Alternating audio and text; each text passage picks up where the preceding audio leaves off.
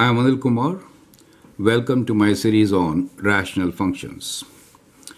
Here is one of the most difficult questions which I am going to discuss with you.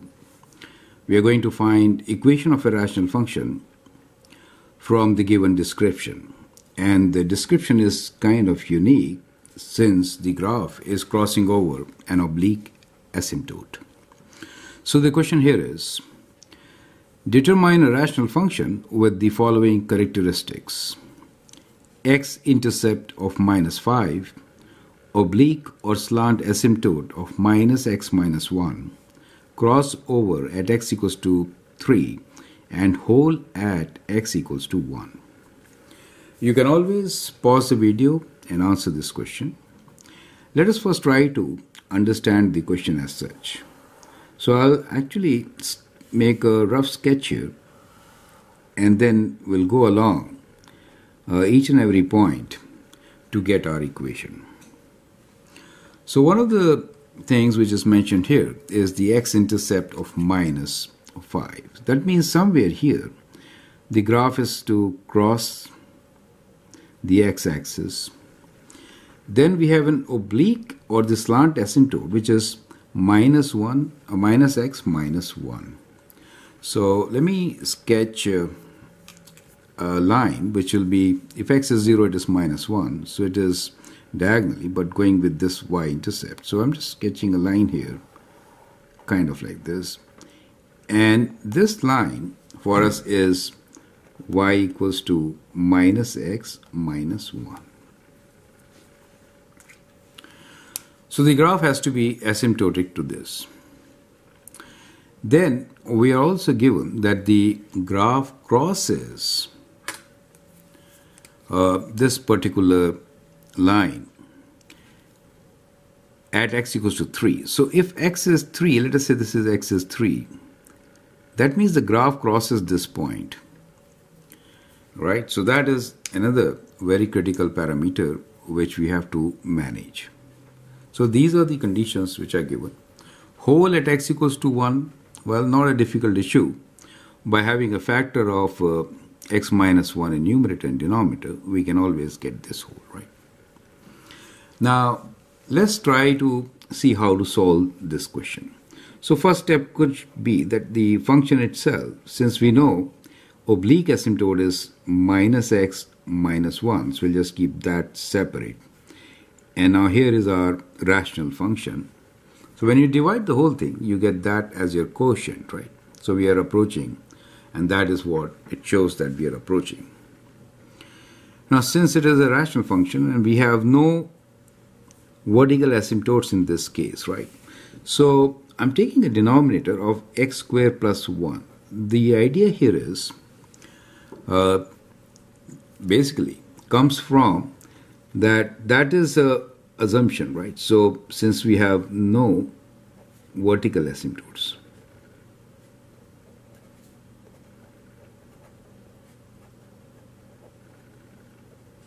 So I introduce this value because x squared plus 1 will not have any uh, vertical asymptotes, right? Now the, the thing is that if I want this x-intercept, let's work for x-intercept now.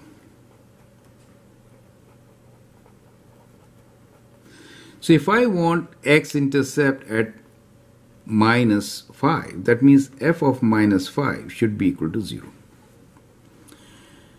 Now, how do I get that value? What I could do here is that uh, I could um, write here minus 5 and see what we are heading to. So if I substitute minus 5 here, let me use another pen and then we'll just figure this out. Uh, let us say if I substitute minus 5 here, so we get minus of minus 5 minus 1 and this value which we have gives us 4. We want 0. That means this whole value should be minus 4. Is that clear to you? This whole value should be minus 4. Right? Now, substituting minus 5 for x square plus 1 gives us 26. So to get 4, what can I do here? Well, let me first cancel this 26. So 26 is when I substitute 5. So I get now 26 divided by 26 is 1. Okay. Now I have to multiply by a factor which results into uh, 4 when I substitute minus 5. And we have to also work with 3. So let me just try this value. Uh, x minus 3. If I write x minus 3 and if I write minus 5 here, then look here, x minus 3.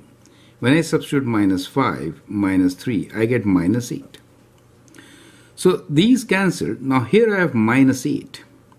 But what do we want? We want minus 4. Since I want minus 4, I'm going to divide by 2. So I get now, uh, what do you say, minus 4.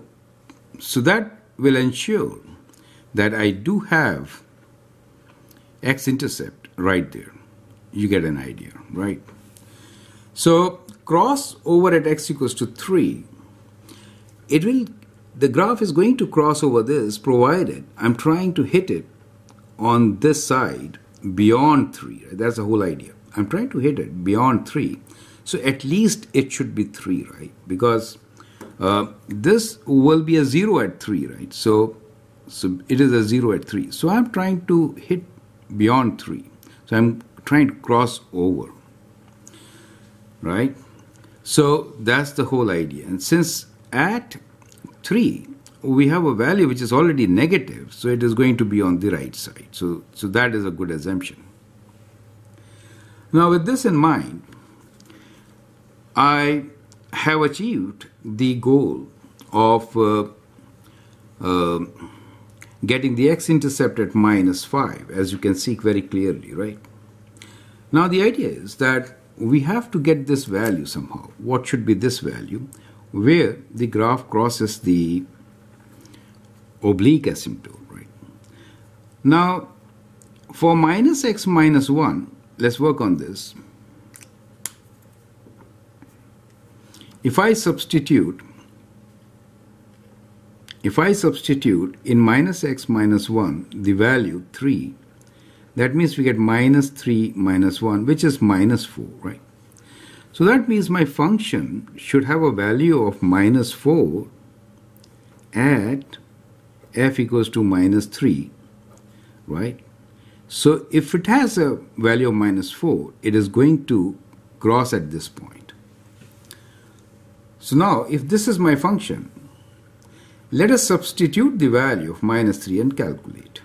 So, so if I substitute minus 3 here, sorry, plus 3, this is at 3, right? This is minus because of minus x minus 1, right?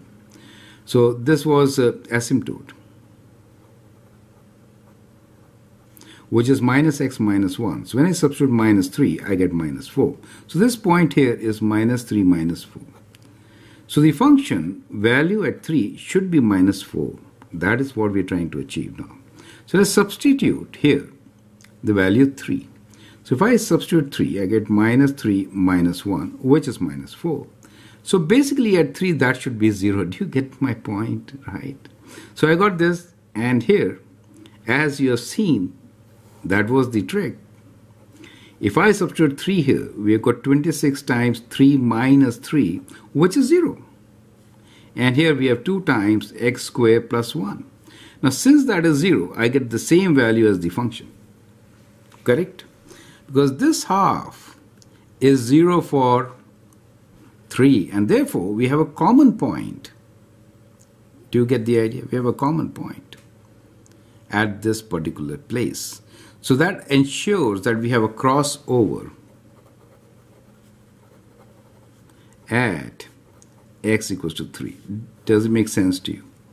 So this particular equation helps us to achieve crossover x equals to 3. So at this point, if I make all this 0, which I can make only if x minus 3 is 0, right? So So look here.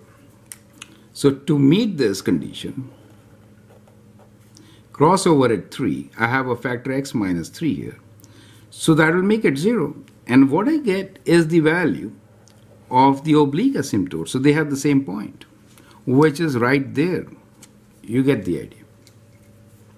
So therefore, this is a very important factor to be taken in the numerator, as that governs the crossover point.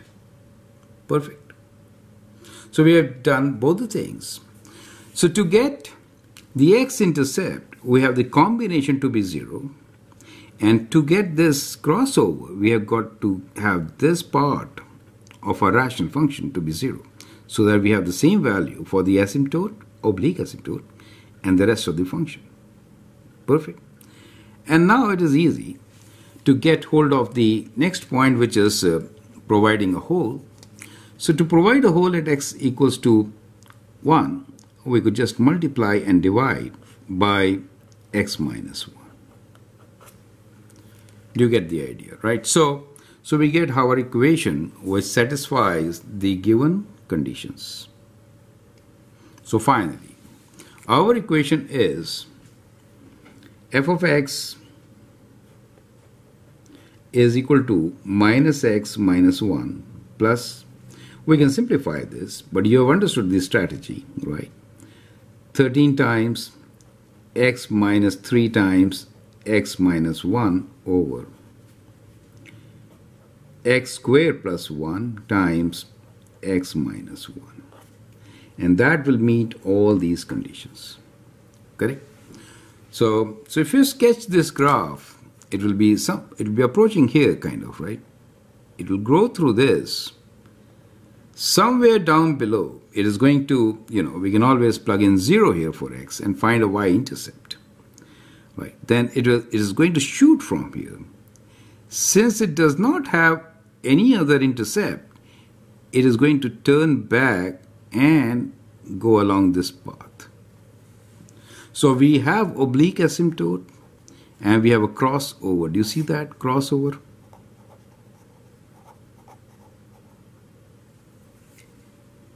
So that is how you can actually understand how to form an equation for given such conditions. I hope it makes sense for you. Feel free to write your comment, share your views, and if you like and subscribe to my videos, that'd be great. Thanks for your time and all the best.